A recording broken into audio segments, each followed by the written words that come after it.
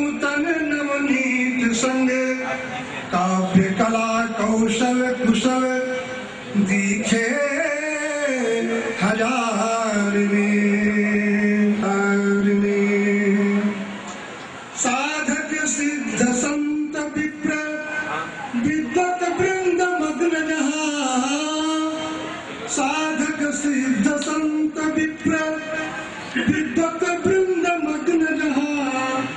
जिनके वक्तव्य भूल हृदय कुंज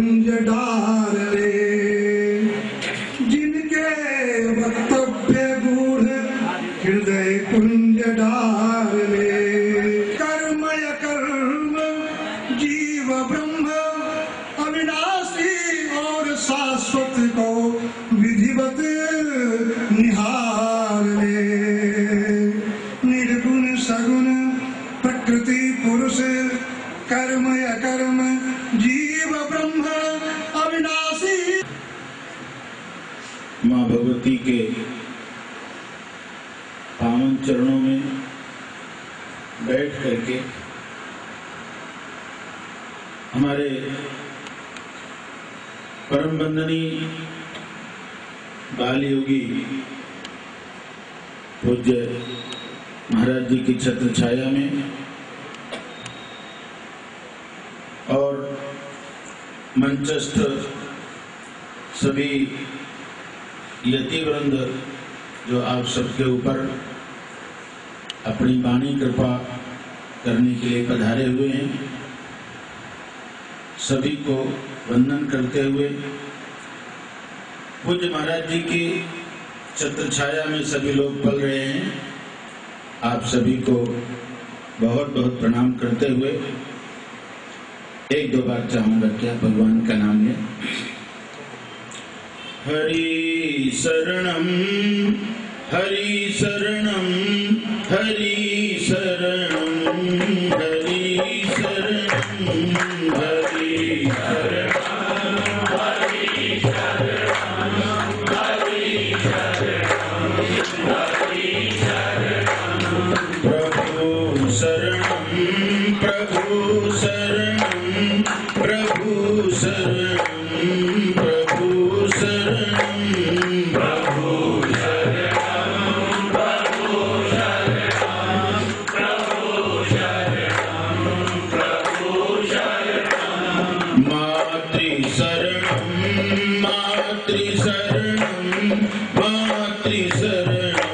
शरणम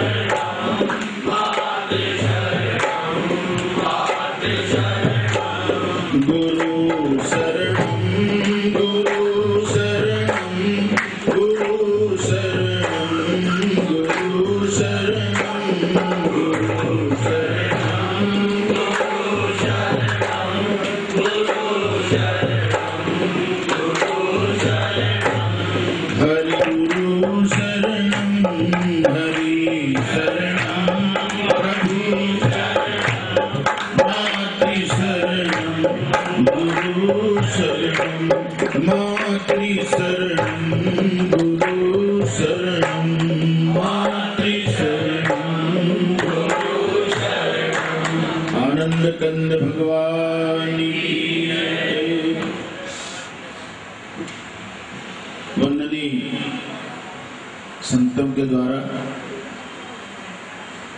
जो उनके पावन विचार श्रवण कर रहे हैं। देखिए, बहुत बड़ा दवा खाना है। मेडिकल स्टोर जिसको बोलते हैं, बहुत बड़ा दवा खाना है। और हमारे जितने भी महापुरुष यहाँ विराजमान हैं, ये अपने अपने ढंग से इलाज आपका करना चाहते हैं। दवाई करना चाहते हैं। आपका रोग ठीक होना चाहिए, ये उनका प्रयास है, ये उनका यत्न है। पूज्य महाराज जी ने इतना बड़ा दवाखाना जो खोलने की प्रेरणा यहाँ के समिति वालों को दिया, माँ भगवती की कृपा से उनकी संपन्न साधना के द्वारा जो हमारा इलाज हो रहा है वो अपने आप में बड़ा विलक्षण है। लिखा ना, बालापन से हरि भजे अजग से रहे उदास। तीरथ आशा करत हैं कब आवे हुए दास। तो महाराज जी तो ऐसे दास हैं जी। और जितनी देर में वहाँ रहा, मुझे ऐसा लगता है जब महाराज जी वहाँ पधारे तो उनकी देखने की दृष्टि, उनकी जो करुणा की दृष्टि है, जब सब पर पड़ती है ना तो ऐसा लगता है सारा वातावरण समाधिस्थ हो जाता है। भगवान शिव की आराधना में जाते हैं, आरती में जाते हैं, वंदन करते हैं। ये जो तीर्थ स्वरूप महापुरुष हैं, उनके भी कुछ अपने लोक लोकांतर भ्रष्ट हो जाएँगे। उन्हें कुछ करने की आवश्यकता नहीं है, लेकिन फिर भी करके दिखाते हैं आपको, करके बताते हैं आपको कि आपको कैसे साधना करनी है। आप कैसे माँ के चरणों में आना है? आपको कैसे शक्ति अर्जित करनी है? आप कैसे अपनी श्रद्धा के द्वारा जो हम देना चाहते तो उसे प्राप्त कर सकते हैं? विद्यमान तो सब कुछ है। यहाँ कुछ ऐसा नहीं है जहाँ कहीं से कुछ लाना है। सचमुच में सब कुछ यहाँ संग्रहित है। लेकिन आपको देखना है कि आपको चाहिए क्या? कई बार जब अचानक भूख ना हो और आपके सामने कोई होटल हो, कोई थाली लाके परोस के दे दे तो चाहे जितना बढ़िया भोजन हो, अगर आपको भूख नहीं होगी तो आप अच्छे भोजन की भी परवाह नहीं करेंगे। और जब भूख हो तो चाहे जैसी रोटियाँ मिल जाए, चाहे जैसा भोजन मिल जाए, लगता है किसी तरह से पेट को भरना चाहिए। और इसके लिए एक उदाहरण मैं बताता हूँ आपको। जिस समय पर भरतीहर जी को वैराग्य हुआ, उस वैराग्य के बाद जब वो घर से चले तो एक बार जा रहे थे। रास्ते में किसी ने, जब आदमी को खांसी आती है ना तो खांसी के बाद जो कफ निकलता है, वो बड़ा मोटे टाइप का हो जाता है। चांदनी रात थी और उन्होंने जब उस खखार को थूका तो वो चमक रहा था। रास्ते में कोई करके गया था। जब राजा वहाँ से निकला तो उसने देखा तो उसने उसको उठा लिया हाथ में। बड़ा गंदा लगा, परेशान हुए, धोया, हाथ साफ़ किया, फिर वापस लौट गए। माँ को मिले तो माँ ने कहा कि, लौट आए, चलो अच्छा किया। इसके बाद दो तीन बार और वो गए वैराग्य हुआ उनको। कई बार तो धरती का धुन खुदवाने के लिए तमाम लोगों से मिल करके प्रयास किया। बहुत कुछ करने के बाद जब हाथ कुछ नहीं लगा वैराग्य मन को बहुत हुआ तो अब आज जाने की जब बारी आई, अंत में तब माँ ने बुलाया अपने पास और माँ ने कहा कि भरती हरी, अब तुम जा रहे हो। और मुझे भी लगता है तुम वापस नहीं आओगे। तो मेरे से भी कुछ सीख लेते जाओ। हाँ माँ, ज़रूर आज्ञा करिए। बोले, जाओ। और जा करके कहीं किले के दीवार के बीच में रहना। माने किले के अंदर रहना। और बढ़िया गद्दा, तकिया और ऐसी जगहों पर सोना। हलवा पूरी माल माल मलाई, ये सब कुछ खाना। आश्चर्य में पड़ गई कि माँ क्या कहती है? हम तो जंगल में जा रहे हैं और उन जगहों पर ये चीज़ें संभव नहीं है। तो एक बार माँ के पास बैठ गए। समाधान नहीं समझ में आया कुछ। तो जब माँ के पास बैठ गए, माँ से पूछा, माँ, मैं तो भ्रमित तो हो गया। क्यों?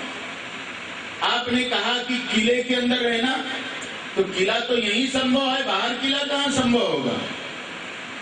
आपने कहा कि हलवा पूड़ी रबड़ी, मलाई खाना, वो तो सब यही संभव था। और इसके बाद बढ़िया गद्दे तकिए बिस्तर में सोना, वो तो यही संभव है।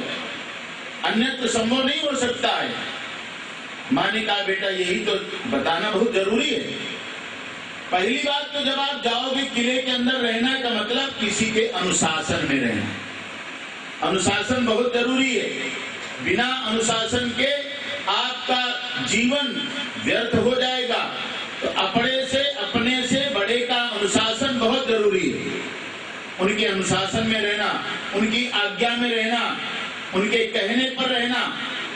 दूसरी बात, जब जंगल में जाओगे, साधना करोगे, शरीर को तपाओगे तो जिस समय पर तुमको भूख लगेगी ना तो जो भी मिल जाएगा,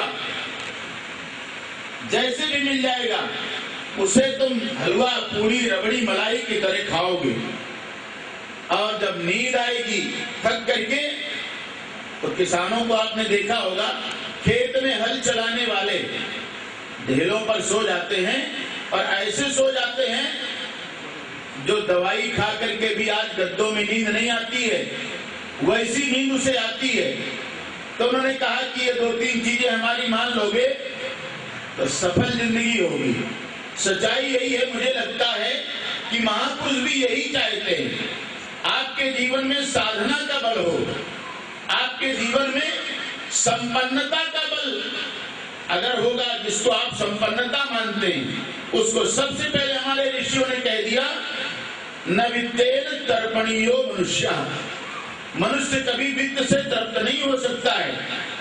कितना आपके पास हो जाए तो आप ये मान लेंगे कि अब नहीं चाहिए। आज बड़े बड़े हवाई जहाज़ उड़ाने वाले मालिक देश छोड़ के भाग गए। आज बहुत बड़े बड़े सहारा वाले जैसे लोग आज जेल में पड़े। बड़े बड़े पुराने मुख्यमंत्री जेल में पड़े हैं। पैसा उनके पास कम थोड़ी है। उनके पास पैसे की कोई कमी नहीं, अंबार लगा है। केवल भारत में नहीं, विदेश में उनका धन जमा है। लेकिन फिर भी सम्मान जो होता है, वो सम्मान कहाँ मिलेगा? प्यार कहाँ मिलेगा? वो तो माँ की कृपा से किसी लायक गुरु के पास जाने पर मिलेगा। नहीं तो नहीं मिलेगा। किसी तरह से भी आप कोई भी यत्न करिए। इसलिए हमारे यहाँ किसी महापुरुष ने बहुत प्यारी बात लिखी। फकीरों की दुनिया है सबसे निराली। सदा उनके चेहरों पर रहती है लाली। न मरने की चिंता, न जीने की आशा, यही है असल में सहन है आली और सदा राज़ी रहना रजा पर प्रभु की। कोई करता पूजा, कोई देवे गाली, क्या फ़र्क पड़ता है? फकीरों की दुनिया है सबसे निराली। उनकी दुनिया अपनी बस्ती है, उनकी अपनी बसाई हुई बस्ती है। वो जिस बस्ती में रहते हैं, वहाँ कोई बिरला ही जा पाता है। इसलिए उन्हीं बिरलों में से आप लोग हैं। महाराज जी ने कुछ लोगों का चुनाव किया। कोशिश उन्होंने जारी रखी है कि आप ऐसी नगरी में आए, जिस नगरी में आने के बाद दुनियादारी वाली नगरी समाप्त हो जाए। महाराज जी का बड़ा प्यारा प्रयास और देखिए, बचपन से लेकर के लगातार अपने संपूर्ण जीवन को आपके सामने जिया। ये किसी से कोई छिपी बात नहीं है। कोई ये मान के चले कि हम महाराज जी को कब से जानते हैं तो हर कोई कहेगा, जब से हमने जन्म लिया, तब से हम बहुत बहुत बधाई देते हुए, मंगल कामनाएँ करते हुए, मैं अपनी वाणी को विराम देता हूँ। कल फिर आपके साथ बैठेंगे, विचार विमर्श करेंगे, संतों का दर्शन करेंगे। एक दो बार सभी लोग भगवान का नाम। हरी शरणम हरी शरणम।